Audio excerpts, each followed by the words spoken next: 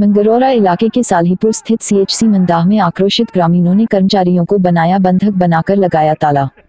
ग्रामीणों का आरोप है स्वास्थ्य केंद्र पर करोड़ों की लागत से बने केंद्र पर एक भी एक भी सुविधा ग्रामीणों की नहीं मिलती। कर्मचारी देर से आते हैं, ढेर सारी शिकायत को लेकर ग्रामीण हुए आक्रोशित ज। मकर किए नारेबाजी।